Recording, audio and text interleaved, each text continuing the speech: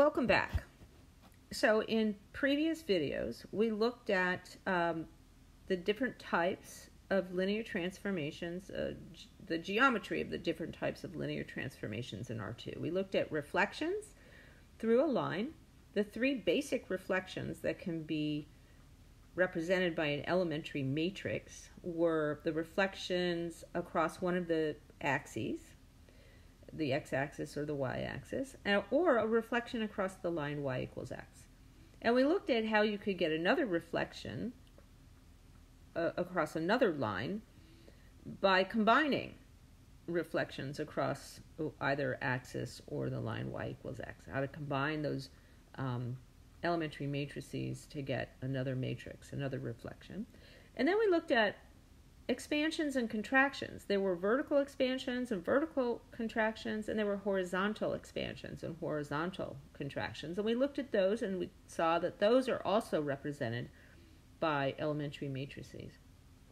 And then the third type was a shear. A vertical shear or horizontal shear is a vertical shift or horizontal shift by an amount proportional to either the vertical component or horizontal component. So that was kind of complicated. So a vertical shear is a vertical shift by an amount proportional to the horizontal component. And a horizontal shift was a hor- sorry, a horizontal shear was a horizontal shift by an amount proportional to the vertical component. So those were different from expansions and contractions, and we saw that difference. So now in this video, we're concerned with the image of a particular region in the plane under different linear transformations. So we're going to look at the image of the unit square under different linear transformations. So what is it? The unit square has vertices. It's a square with vertices 0, 0, 1, 0, 1, 1, and 0, 1. And so that region looks like this.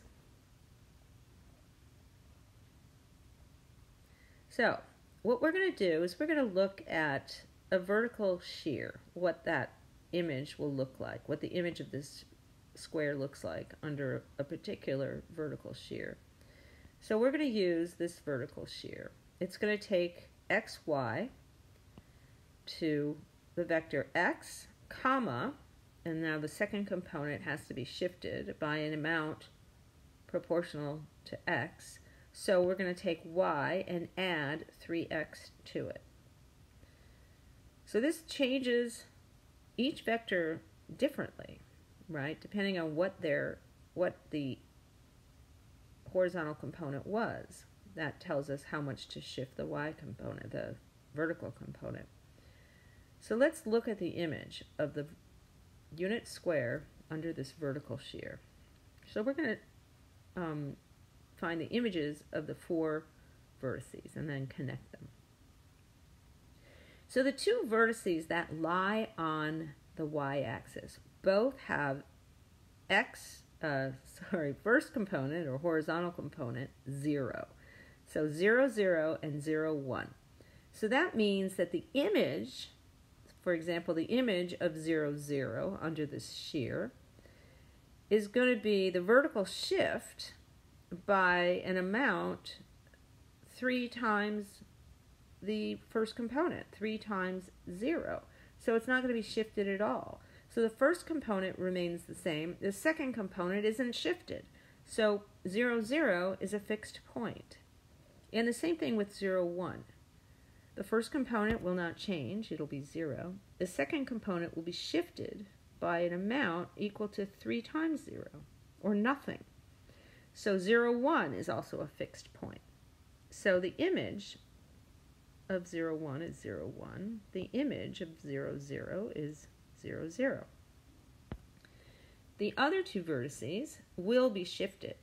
So because the first component is 1, the second component will be shifted by 3 times 1, or 3. So both of those vertices are shifted upward by an amount 3. So for example, t of 1, 1 is 1 comma 1 plus 3 times 1, or 1, 4. And the other one is 1, 3. So if I connect those dots and fill in the region, we see that it is not a square, it's not even a rectangle. So this is the image of the unit square under that vertical shear. So let's compare that to the image of the, of the unit square under a vertical expansion. So let's look at the expansion t of xy equals x comma 3y. So we are going to multiply every vector, every, the second component of every single vector by 3. So the vector 0, 0, uh, if we multiply the second component by 3, we just get 0, 0. So that is a fixed point.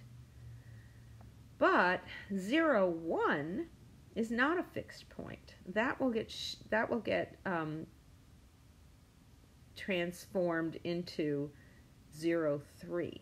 So that gets stretched upward. So all of the vertices look like this. Anything that didn't have a zero in the second component got stretched upward by a factor of 3. And if we connect those dots and fill in the region, it looks like this. So that's a rectangle. It's the image of the unit square under the vertical expansion. And um, we can see that it looks totally different from the image under the vertical shear. So one interesting fact that is not covered in our textbook, but is a really useful fact for a lot of people who have to use uh, linear transformations in their work, and in particular are interested in specific regions and how they're transformed, uh, two-dimensional regions and how they're transformed. An interesting fact is that shears preserve area. And I'm not going to prove that fact, but um, we can see that the unit square has area 1. The image of the unit square under the vertical expansion, so this tall rectangle at the bottom, does not have area 1. It has area 3, 3 times 1. But it turns out that the image under the shear, the one above, that is not a rectangle, if you compute the area of that region, you'll find that it is 1. So the shear preserves the area of the unit square, but the expansion does not. So that's an interesting fact you won't find, I don't believe, you'll find that in our textbook. So that's a um, what it looks like, and you can um, play around with reflections. We just looked at a shear and an expansion, and you can look at reflections and what reflections do to the unit square. So there's one remaining video after this where we do another example.